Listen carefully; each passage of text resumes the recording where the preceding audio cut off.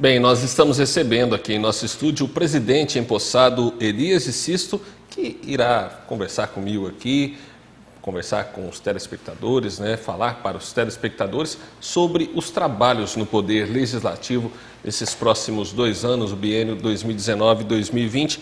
Elias, muito obrigado pela sua participação aqui à entrevista no estúdio do TVD Notícias. Mais uma vez, seja muito bem-vindo. Muito obrigado, Alistinho. Obrigado pelo convite, obrigado pelo espaço, né? Boa noite a todos que nos acompanham. Bom, nós acabamos de assistir a reportagem que da sua posse como novo presidente da Câmara Municipal de Mococa, o Poder Legislativo, para o próximo biênio 2019-2020.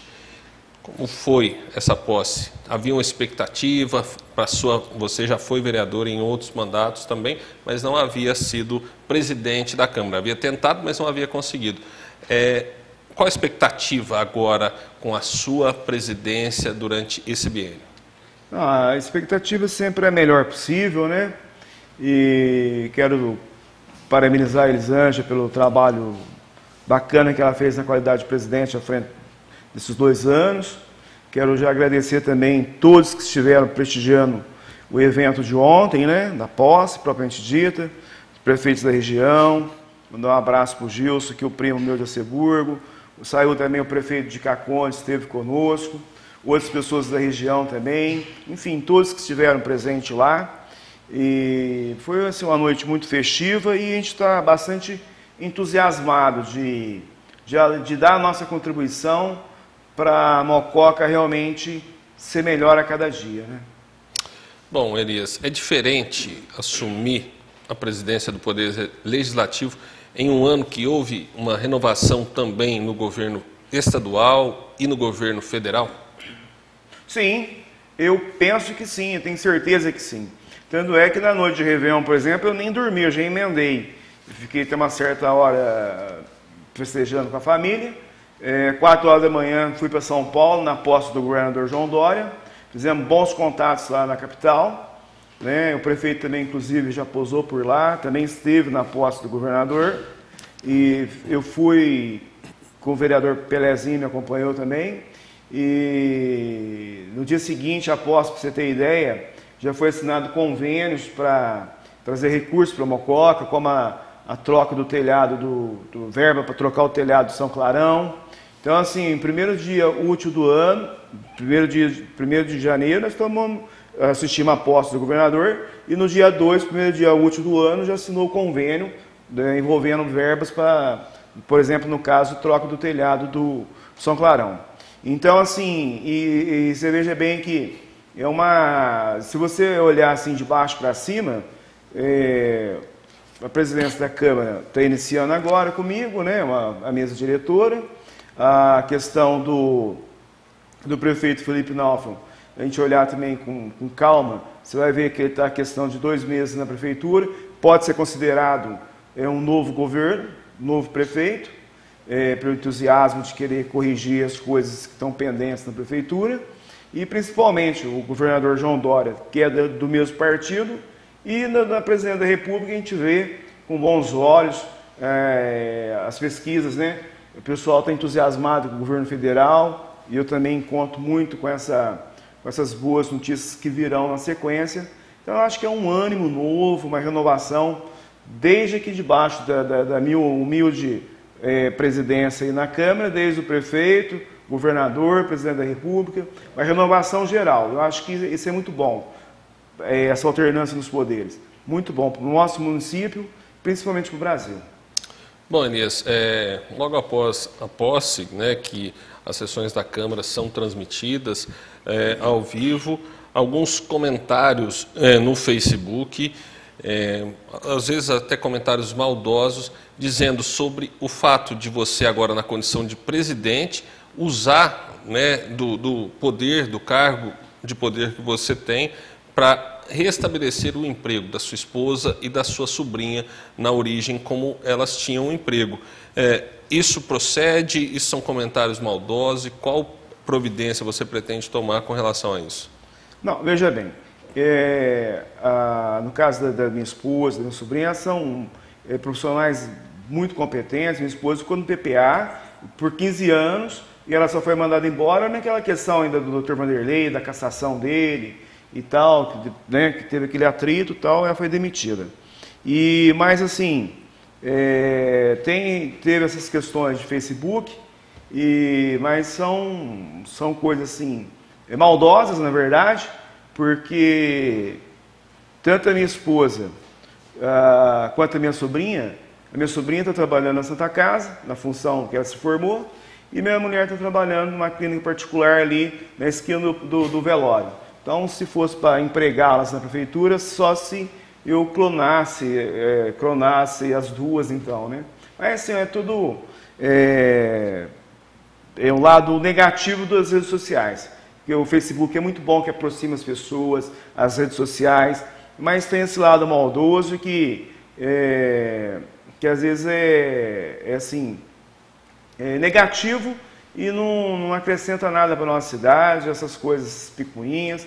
Você veja que a, a, nossa mesa foi muito bem composta, muito bem elaborada, e nós ganhamos a eleição legitimamente no dia 10 de dezembro, e teve questão de rede social que eu coloquei na, minha, na, na mesa é, como secretário um, um, deficiente, colocou na mesa diretora ah, comigo ali um negro. Quer dizer, eu quero dizer que eles são as pessoas humildes e são pessoas maravilhosas, da minha inteira confiança e super capazes.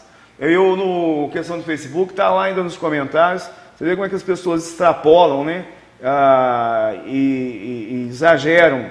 Eu, por exemplo, está lá uma postagem recente, eu postei a mensagem de Natal, desejando Feliz Natal a todas as famílias mocoquenses e tal. O cara falou, ah, vou te dar um abraço, mas esse abraço eu queria te matar e tal, tal. É, quer dizer, mas semana natalina, né? As pessoas têm confraternização. Então, se a pessoa torceu para o A, torceu para o B e, o, e não venceu o lado que ele quis, aí não tem que partir para essa baixaria, né? Mas tirando as redes sociais, graças a Deus pelas ruas onde eu vou, tenho sido cumprimentado, tenho sido parabenizado e é o que me motiva. Eu sou muito otimista, essas picuinhas de redes sociais não, não, não tiram meu entusiasmo, não. Bom, a Câmara Municipal é a casa do povo.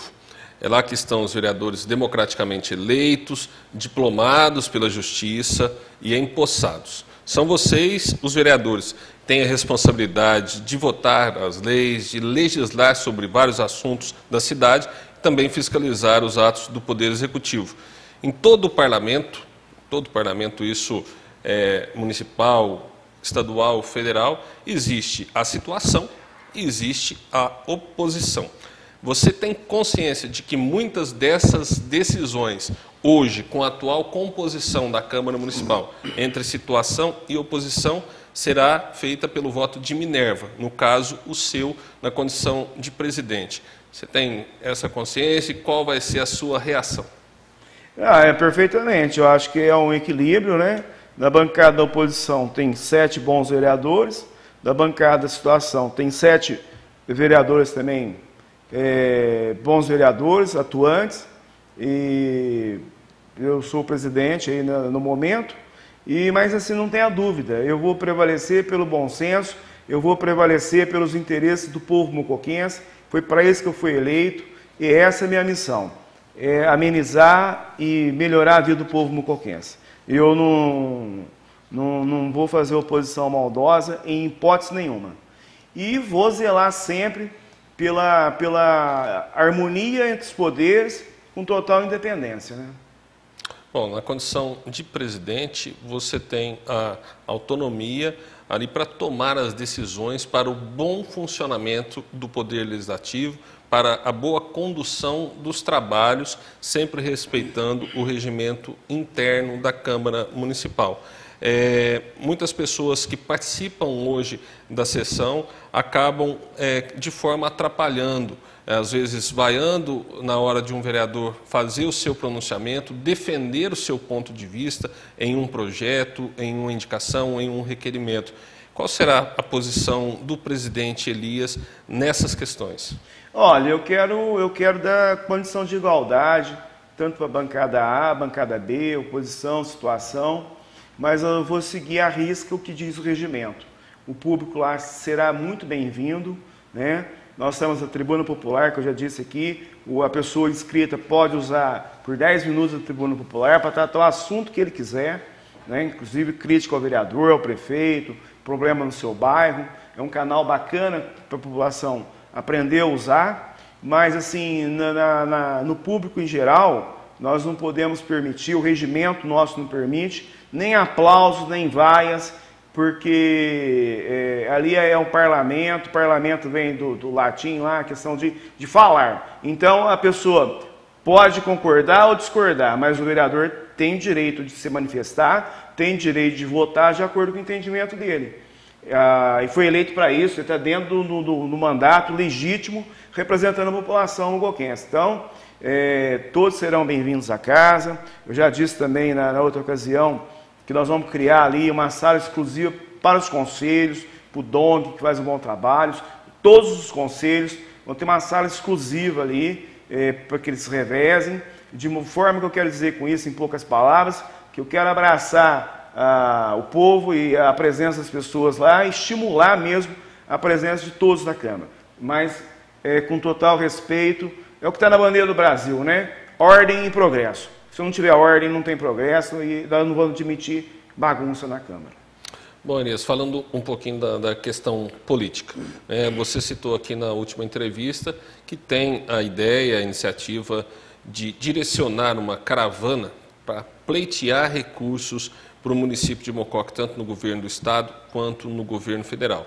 A gente sabe que agora houve uma renovação né, tanto do governo federal, estadual e também do Congresso, né, da, da, Câmara Federal e da Assembleia Legislativa de São Paulo. E que muitos deputados são votados aqui em Mococa. Né? Qual é a sua ideia dessa caravana? É buscar, independente do partido do deputado, ele foi votado aqui em Mococa, então ele tem que contribuir, mas não contribuir com migalhas como alguns contribuem, e sim com emendas que de fato possam refletir em benefício e que a população possa usufruir bem dos recursos que forem alocados.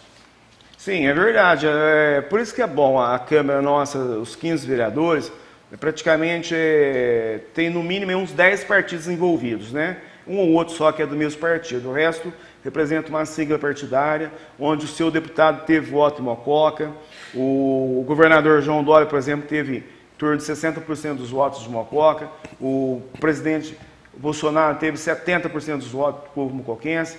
E isso nos dá moral, nos credencia a cobrar recursos para Mococa. Por isso que eu propus essa caravana, essa, essa presença nossa, tanto na Assembleia como no Palácio dos Bandeirantes, é, porque isso o, dá pressão nos políticos. E o independente do prefeito aqui em Mococa ou prefeita, nós não temos recurso para a gente fazer tudo que é necessário, tudo que o nosso povo precisa e merece. Por isso é fundamental a gente procurar o governo estadual, o governo federal e, e no sentido de viabilizar esses recursos para a cidade. Né? Eu estou muito otimista, como eu já disse, do governo federal, com o Sérgio Moro. Se eles conseguirem combater metade da corrupção que ocorre no Brasil, já melhora a vida do povo brasileiro de forma geral. Bom, para a gente encerrar, é, você havia comentado também sobre a possibilidade da geração de emprego para Mococa. Mococa, como todas as cidades do país, ou a grande maioria das cidades do país, visto o déficit de desemprego que nós temos hoje na casa de 13 milhões de brasileiros desempregados, é, sobre a possibilidade de um projeto que iria beneficiar a população mocoquense com a geração de empregos. Que projeto é esse? Então, logo de cara agora já, já vou entrar, já estou com, com, os estudos lá no jurídico, né? Nós vamos, aliás, estou com a cópia da lei aqui. Essa, por exemplo, é eu peguei de Ribeirão Preto e essa que eu estou em mãos é da cidade de São João da Boa Vista. É, do ano de 2011, a questão do mototáxi, né? É, lá em São João da Boa Vista, são, é, tem capacidade para previsão legal aqui, para até 300 motocicletas rodarem. Na prática, eles têm algo em torno de 250 mototáxis trabalhando. Então, nós vamos criar essa lei aqui em Mococa, vamos dar a oportunidade da pessoa com a simples motocicleta ter o seu emprego e oferecer um transporte mais rápido e mais barato né, para as pessoas se locomoverem na cidade. Então, você veja bem que é em torno de 200 empregos que a gente prevê nessa, nesse projeto de lei.